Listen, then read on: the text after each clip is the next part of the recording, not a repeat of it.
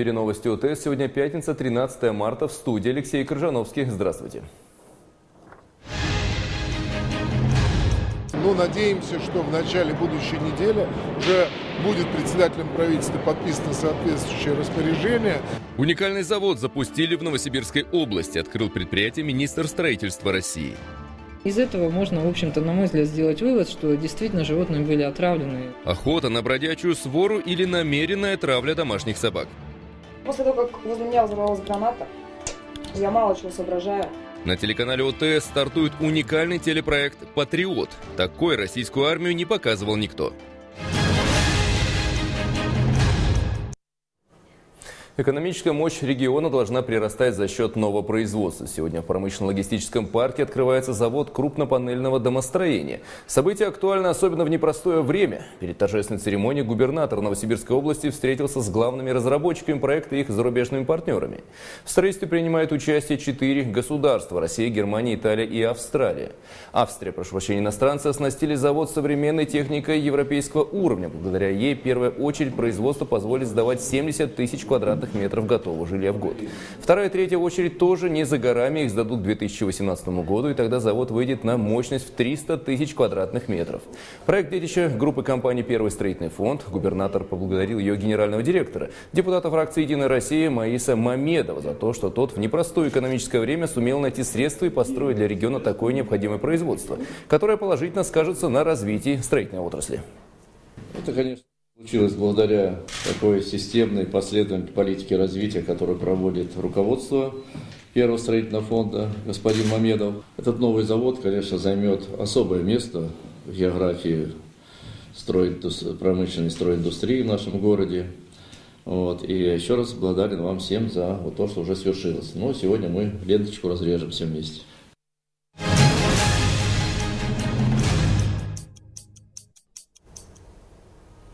И вот новый завод заработал. Уникальное предприятие займется производством крупнопанельного домостроения, которого существенно не хватает нашему региону. На церемонию запуска технологического процесса приехал даже министр строительства и ЖКХ России. С подробностями наш корреспондент. Оператор только следит за показаниями, э, засыпается песок, щебень, это все в автомате. Он следит, что идет процесс. Все, на этом его функция заканчивается. Инженер-технолог Евгений Краус объясняет, на новом заводе крупнопанельного домостроения человеческий труд минимален. Умные машины самостоятельно создают бетон, арматуру и плиты, из которых построить многоэтажный дом можно в кратчайшие сроки. Мощность первой очереди – 70 тысяч квадратных метров готового жилья в год. Благодаря европейским технологиям производство практически безотходное. К примеру, на данном этапе бетон разделяют на твердые и жидкие фракции. Жидкие потом отправляются по трубам в соседний производственный цех, а твердые отсеиваются и попадают на склад. Потом их можно использовать вторично.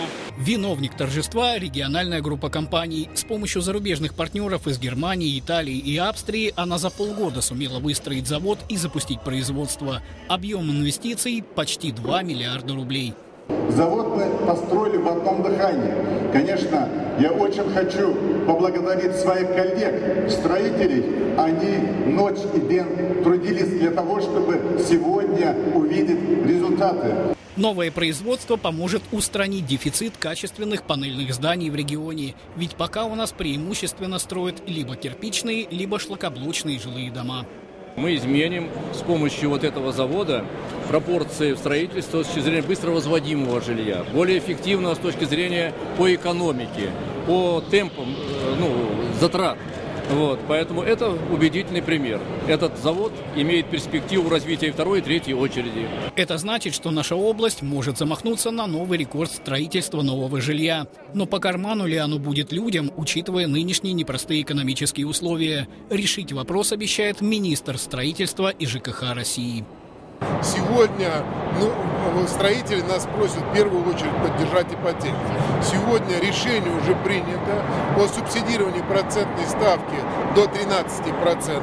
Сейчас вырабатывается механизм. Но надеемся, что в начале будущей недели уже будет председателем правительства подписано соответствующее распоряжение. В будущее, несмотря на кризис, строители региона смотрят с оптимизмом. Тем более, что благодаря новому заводу в области появятся новые и, главное, недорогие дома европейского уровня. Александр Могилин, Константин Стремоусов, Новости ОТС.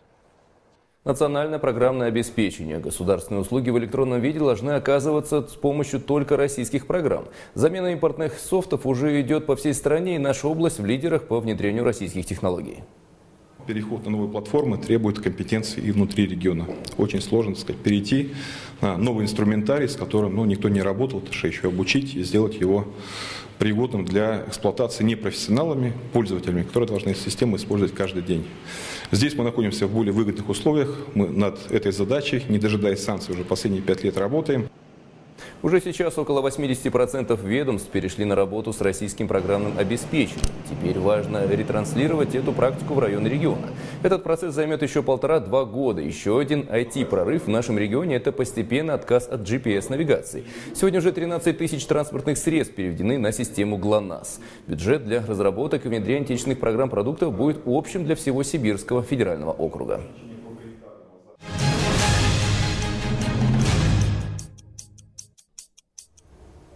Доктор мчится сквозь белую равнину. Там, где застрянет скорая помощь, проедут спасатели. Накануне сотрудникам областной аварийно-спасательной службы пришлось вызволять из снежного плена жителя Тагучинского района. У пенсионера случился инфаркт. От спасателей спасенному апельсины Игорь Ковалев и Алексей Земсков принесли пациенту кардиологического отделения горбольницы. Сейчас 75-летний Виктор Шаповалов чувствует себя хорошо. Недавно пенсионер был на волосок от смерти. В тот день в Тагучинском районе в селе Бугатак был сильный снегопад. Дорогу замело так, что не пройти, не проехать. Некоторые добирались до своих домов на лыжах. Среди них Виктор Андреевич со своей женой. В избе у мужчины заболело сердце. Супруга вызвала скорую помощь. Скорую помощь никогда туда не, как говорят, ну, не приедет. Потому что на обычном транспорте там добраться невозможно. Скорая остановилась примерно в пяти километрах от дома Виктора Шаповалова. Из Новосибирска в Тагучинский район выехали сотрудники областной аварийно-спасательной службы. В прицепе снегоход и специальные сани для эвакуации пациента. И вот Буран заведен, впереди путь по снежной целине. На счету каждая секунда, но тут новая проблема. По дороге к пенсионеру, женщине-медику, самой может понадобиться помощь. Одета не по погоде. Врач говорит, ну вот у меня даже специальной одежды нету. Спасатель снимает себе куртку, говорит, пожалуйста, я вот вам отдам свою теплую куртку. Доктор одела теплую куртку, говорит, поедемте. Ну штаны оставьте себе. Сын Виктора Андреевича вместе со спасателями тоже поехал на снегоходе в деревню. Показал короткую дорогу к дому отца. Добрались быстро. По словам врача, у пожилого человека случился инфаркт. Глубина снега ну, превышает где-то местами даже полутора метров. То есть э, так, по такой глубокому снегу можно даже и перевернуться на снегоходе. А тут еще приходилось пострадавшего эвакуировать. Пришлось его, его транспортировать медленно, потихонечку, там, объезжая каждую кочечку. В итоге мужчину отвезли в Новосибирскую городскую больницу номер один. Сейчас его здоровью ничего не угрожает. Подобные случаи, когда скорая не может проехать к пациенту, в этом году не редкость. Снега выпало слишком много. Прийти на помощь спасатели готовы в любой ситуации. Там, где в сугробах увязнут бураны, специалисты используют сверхпроходимую машину – снега-болотоход. Главное, чтобы сигнал бедствия поступил вовремя. Анатолий Харитонов, Антон Мамаев. Новости ОТС. И смотрите сегодня сразу после выпуска новостей криминальную драму «Все ради нее». Лиза Жульен и их маленький сын Оскар. Обычно счастливая семья, но однажды утром полиция приезжает за главной героиней. Ее обвиняют в преднамеренном убийстве. Все улики свидетельствуют против женщины. И теперь глава семейства, обычный учитель французского языка, готов сделать все, чтобы спасти жену и мать своего ребенка, даже если ему придется переступить границы закона.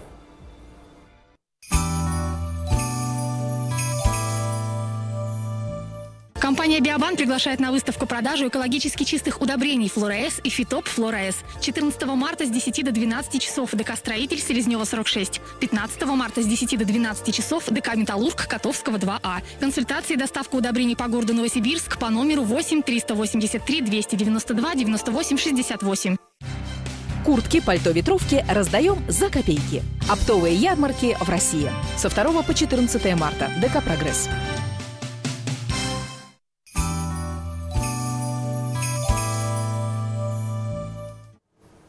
Оценка профпригодности по мировым стандартам. Такая возможность есть у студентов учреждений профобразования, которые примут участие в национальном чемпионате профессионального мастерства по стандартам WorldSkills.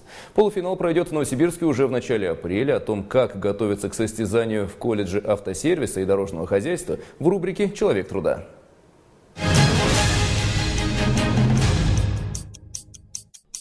Машин все больше, а профессионально обслуживать их могут немногие, уверен второкурсник Сергей Стась. Скоро он представит область в полуфинале национального чемпионата в Сибирском федеральном округе по профмастерству. Потому серьезно совершенствует профессиональные навыки. Задание надо будет выполнить за ограниченный период времени. А вот в применении высоких технологий полная свобода. Тем более, что колледж за последние три года серьезно обновил учебно-лабораторную базу. Если ты получаешь дополнительный опыт, который ты не получишь в гаражном, то, допустим, даже где-то себя в гараже, там, ты это не получишь никогда. В начале апреля окружной этап конкурса, в мае национальный финал. Впереди битва за европейское и мировое первенство.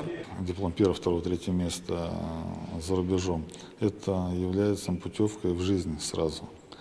А, у нас работодатели, уже которые начинают сотрудничать с движением WorldSkills, понимая, о каком уровне уже квалификации идет речь конкурсант, соответственно, они без разговоров его принимают на работу. Окружные соревнования в компетенции ремонта и обслуживания легковых автомобилей пройдут в колледже. Сегодня национальный эксперт проверяет, все ли на конкурсной площадке соответствует международным стандартам. Отмечает, Новосибирск задает высокую планку. И касается это не только технического обеспечения, но и подготовки студентов в учреждениях среднего профобразования. Профессионализм это, ну, является своеобразной валютой, которую, валюта, которая уже не обесценится. Э, и никто ее не отберет, потому что это всегда останется с ним. Что бы у него ни происходило, он всегда э, может своим профессионализмом, во-первых, заработать на жизнь и выстроить э, свою карьеру. Вот и Сергей свою жизнь планирует связать с выбранной профессией и уверен, что достигнет в ней высшего мастерства. Наталья Цопина, Антон Мамаев, Новости ОТС.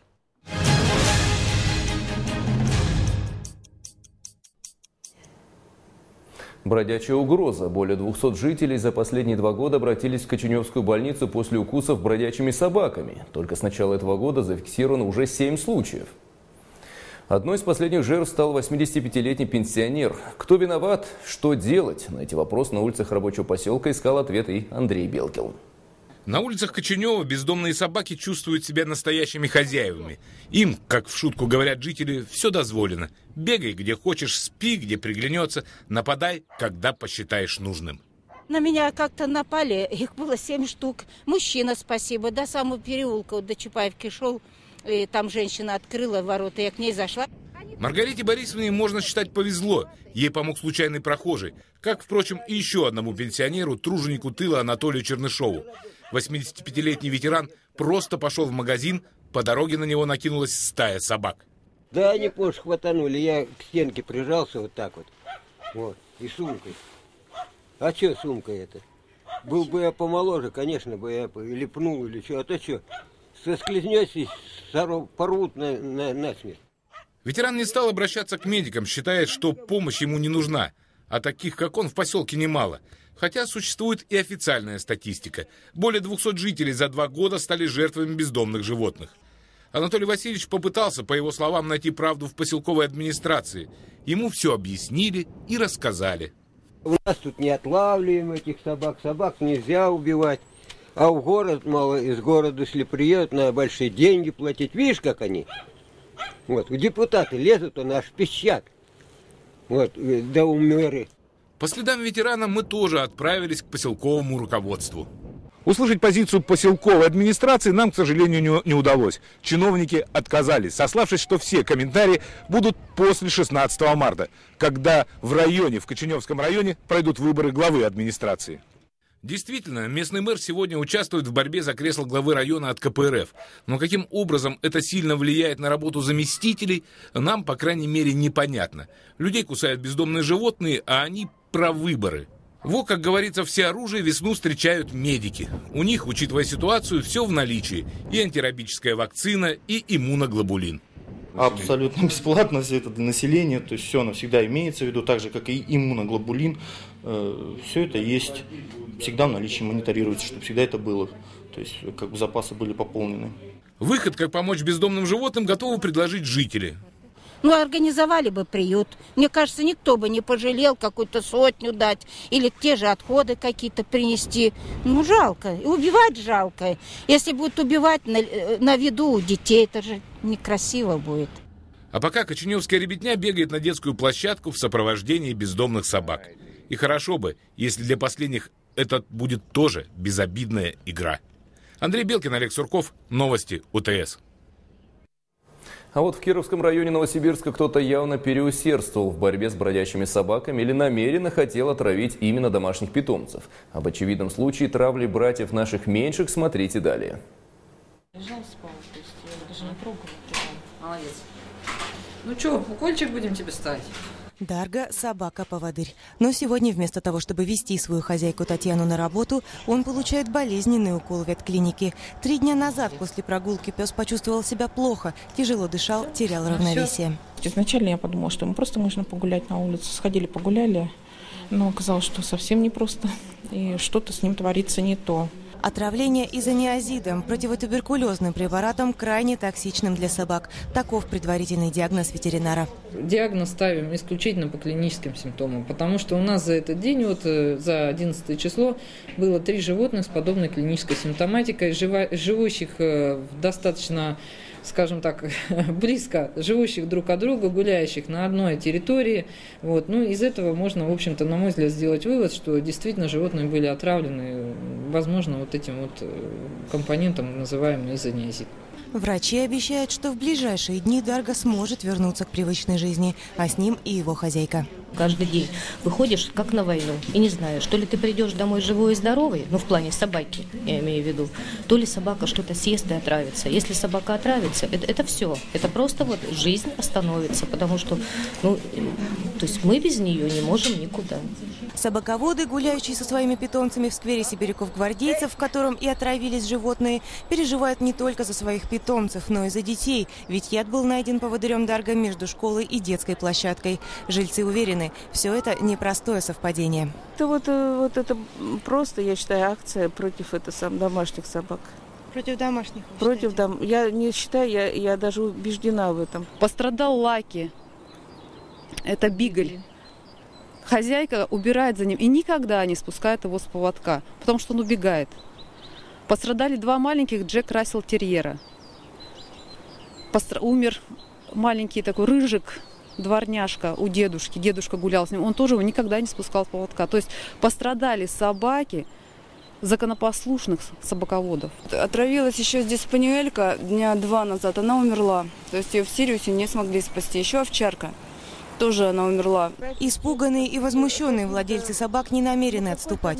Когда удастся получить заключение специалистов, подтверждающее факт отравления животных токсичным препаратом, пойдут писать заявление в полицию. Однако, признаются, на результат особо не рассчитывают. Закона о защите животных в нашей стране до сих пор нет. Мы его добиваемся уже ну, с 2000 года, вот 15 год, мы пишем регулярно обращения, письма президенту, вот не только мы, в смысле, вот там добровольцы нашей организации, а э, зоозащитные организации из многих-многих городов России. Пока все безрезультатно, как и попытки найти виновных в неоднократных случаях отравления собак.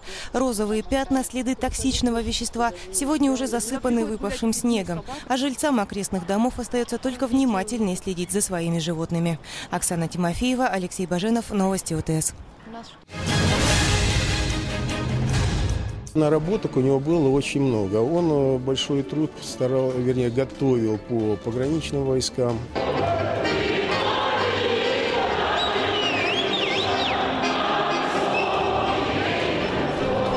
Новосибирск был готов к принятию проведения чемпионата России.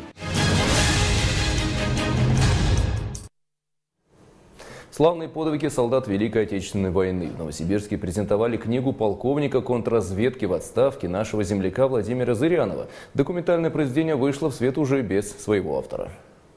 Всего 100 экземпляров брошюры, но читателей будет тысяча. Литературный труд полковника Владимира Зырянова будет в открытом доступе в электронном виде. Сегодня в Доме молодежи прошла презентация книги «Немеркнущий подвиг советского народа». Автора уже нет в живых. Книгу представляют его товарищи. На страницах о главных сражениях в Великую Отечественную войну. Предвоенная и послевоенная Россия. Политическая ситуация в современном мире.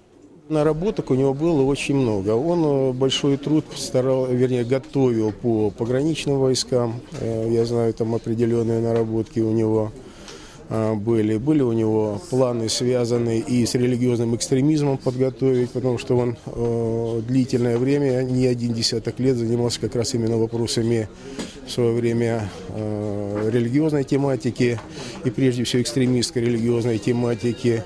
Автор книги «Профессиональный военный». Полковник Зырянов служил в зенитно-ракетных войсках, затем в КГБ и ФСБ. Юрист по образованию. Владимир Федорович уже в отставке написал более 50 исследовательских материалов. Политика, экономика, религиозный экстремизм. Но большее значение придавал патриотическому воспитанию молодежи. Мы создали благодаря ему очень неплохую группу лекторскую – который значит, ездит в дни призыва на сборный пункт в город Обь. У него было очень прекрасное представление о том, что творится сейчас в мире какая, значит, внутренняя, внешняя политика нашего государства. Он прекрасно знал. И это, на фоне этого он, ну, естественно, создавал вот эти книги и читал эти вот лекции. Лекции для призывников продолжат читать товарищи автора. И именно эта книга ляжет в основу встреч. Елена Подкорытова, Василий Тополев, Новости ОТС.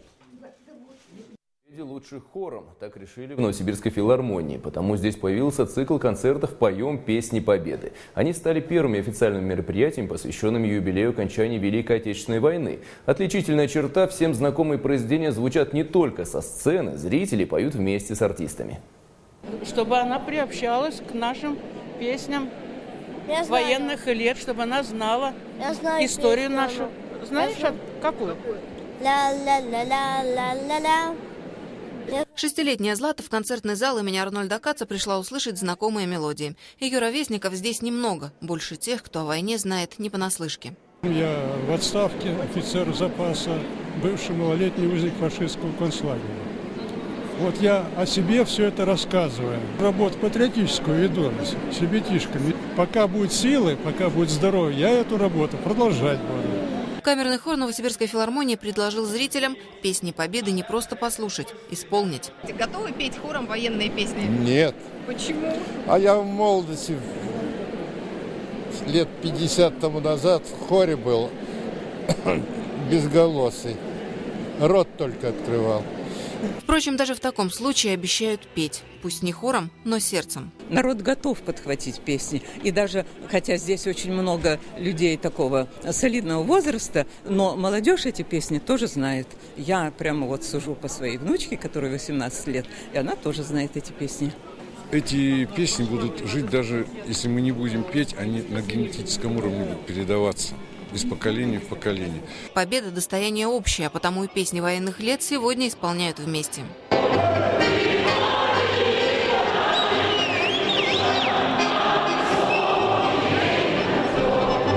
Не последний такой социальный концерт филармонии. Пригласительные билеты можно взять в кассах абсолютно бесплатно. И желающих с каждым выступлением становится все больше. В этот раз пришлось даже перенести мероприятие в большой зал на тысячу мест. Потребность велика, и нам не хочется вот так резко обрывать это все. Поэтому вот буквально сегодня я приняла решение о том, что мы сделаем еще два концерта дополнительных в апреле уже в камерном зале филармонии, в так называемом Доме Ленина, историческом здании. И отдельно пригласим всех желающих отдельно объявим дату. Ну а раз идею совместного исполнения так активно поддержали зрители, то в филармонии уже задумались, не сделать ли подобные концерты традицией. И вполне возможно, что в следующем году Злата придет с обновленным репертуаром и все-таки споет хором. Наталья Цопина, Андрей Дулепов. Новости ОТС. Такой армию еще не показывал никто. На телеканале ОТС стартует телевизионный проект «Патриот». Непрерывные съемки 24 часа в сутки, уникальные рубрики и эксклюзивные кадры с армейских полигонов и воинских частей. О самом масштабном телевизионном проекте в 41-й армии смотрите далее в нашем следующем сюжете. 35 часов, терабайты видеоматериала. Все это настоящая современная армия без постановок и прописанного сценария. Телевизионный проект «Патриот» — это только живые эмоции.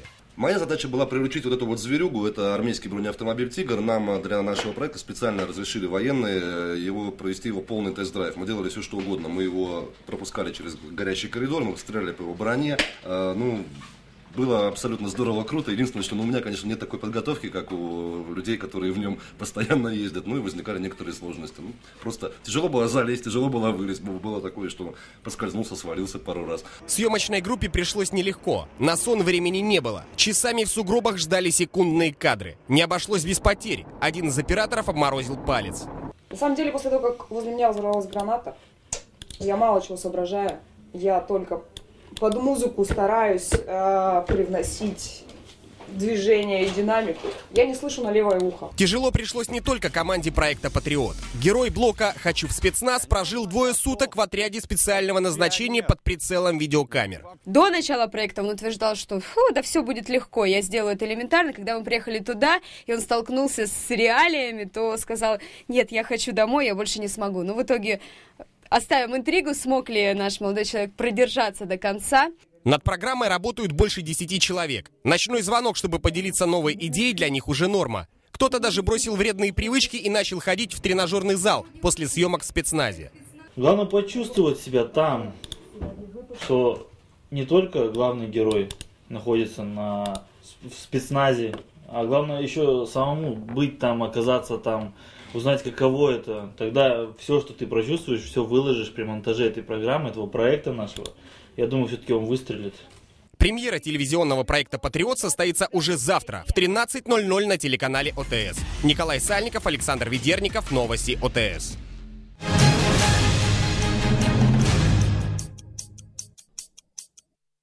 О спорте. Третий этап чемпионата России по биатлону завершился. Старты состоялись в Новосибирском биатлонном комплексе. Кому не помешала роковая пятница 13 в нашем сюжете Евгения Нагаева.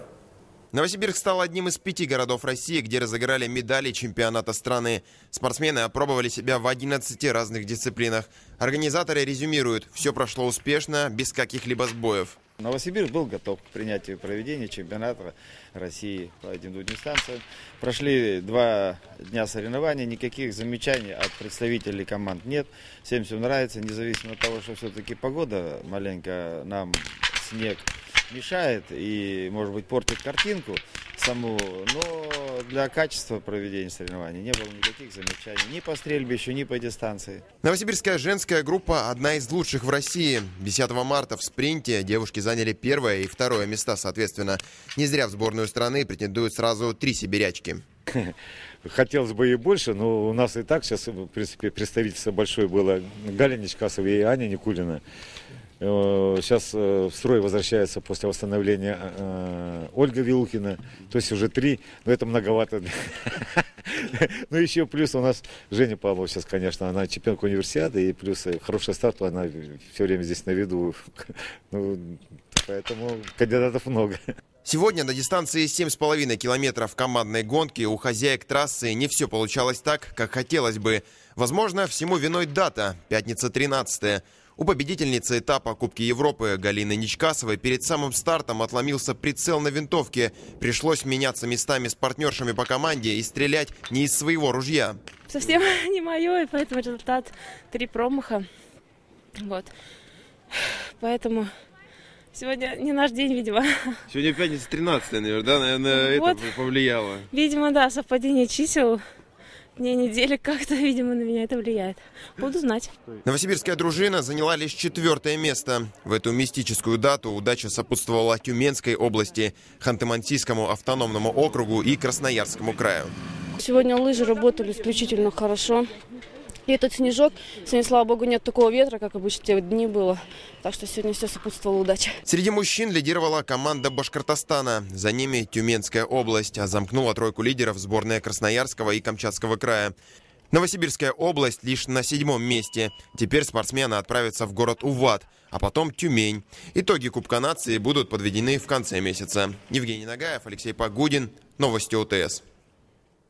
На этом у меня все. В студии работал Алексей Крыжановский. Хороших выходных и до встречи.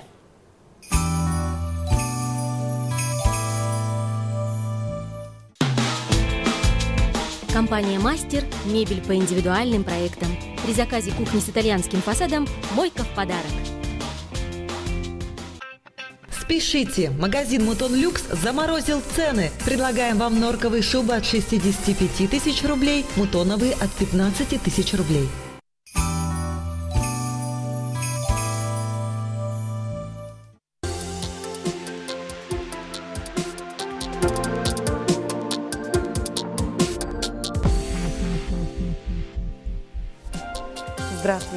Прогноза погоды – торговая марка «Сакура». «Сакура» – качество, дизайн, функциональность. Скороварка-мультиварка «Сакура» – два в одном. Лучший помощник на кухне для всех. В ближайшие дни после того, как центр циклона уйдет на восток, территория области окажется за холодным фронтом. Станет меньше облачности, температура воздуха немного понизится.